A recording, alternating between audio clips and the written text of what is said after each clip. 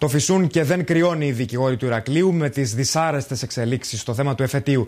Η απόφαση του 5ου τμήματος του Συμβουλίου της Επικρατείας να επιστρέψει ως απαράδεκτο το σχέδιο του Προεδρικού Διατάγματος για ίδρυση εφετείου στο Ηράκλειο προκάλεσε παγώματα στον δικηγορικό κόσμο. Όμως, μετά το πρώτο σοκ, ο Δικηγορικός Σύλλογος ετοιμάζεται να περάσει στην αντεπίθεση. Σε γενική συνέλευση που θα γίνει την Τετάρτη, οι δικηγόροι του Ηρακλείου αναμένεται να θέσουν πρώτων ευθυνών τους τους βουλευτές του νομού, οι οποίοι εδώ και καιρό έχουν θέσει στην διάθεση του Συλλόγου τις παρετήσεις τους. Μουδιασμένοι, αρχικά έντονα ενοχλημένοι στη συνέχεια, οι δικηγόροι του Ερακλείου αντιμετωπίζουν την απόφαση του 5ου τμήματος του Συμβουλίου της Επικρατείας για το θέμα του εφετείου Ανατολικής Κρήτης, που επέστρεψε ως απαράδεκτο το σχέδιο του Προεδρικού Διατάγματος. Δύο χρόνια ακριβώς τώρα απέχουμε από το εφετείο των Χανίων και ένα μεγάλο διάστημα από υποθέσεις του Ηρακλείου.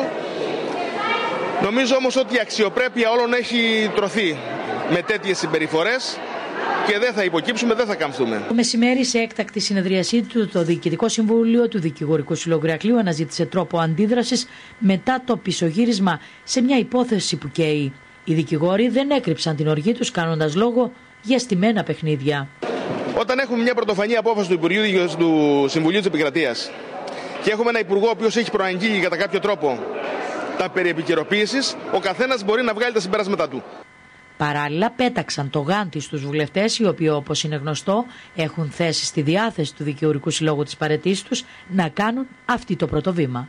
Οι βουλευτές θα έπρεπε ακριβώς επειδή ακουγόταν όλοι αυτοί οι ψήθυροι να έχουν ασκήσει όλη τους την επιρροή έτσι ώστε να μην οδηγηθούμε σε μια τέτοια απόφαση. Η εκλογή και η παρέτηση από τους ίδιους και να μην περιμένουν να Ασφαλώς το θέμα της παρέτησης είναι κάτι το οποίο εφόσον αντιληφθούν οι βουλευτές ότι έχουμε θέμα παρέμβασης, θα έπρεπε να έχουμε από τους ίδιους τη δήλωση αυτή. Νομίζω ότι είναι ένα θέμα το οποίο είναι πάντα σε εκκρεμότητα και η Γενική Συνέλευση υπολογίζω ότι θα ασχοληθεί και με αυτό. Την ύφη βέβαια μαζί με το Ηράκλειο πληρώνουν και τα υπόλοιπα εφετεία της Μυτιλίνης, του Αγρινίου και της Χαλκίδας.